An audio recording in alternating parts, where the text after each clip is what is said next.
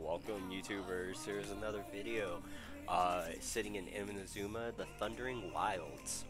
Uh, this one is a fairly short, fairly easy uh, quest.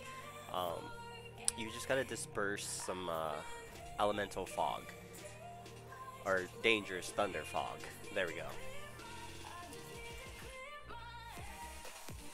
But I apparently did not like my team for clearing the fog because you need a win person.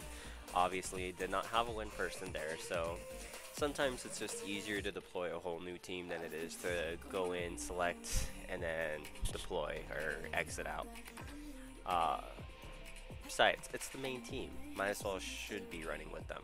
I've been doing like some switching up and trying to do other teams, but I really need to work on just the main team. The other teams, they're okay, but I don't have near enough, like, in their artifacts and their weapons, so in their constellation. Actually, in the main team, like, uh, only Ei has, like, a C1.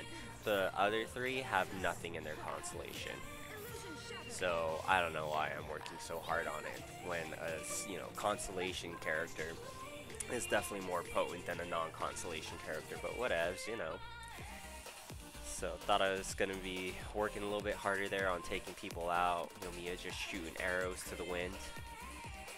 And then this is to be the last one. So like and subscribe if you like this short video, guys, and catch me on some more vids. Thanks for catching me here, and uh, have a great time.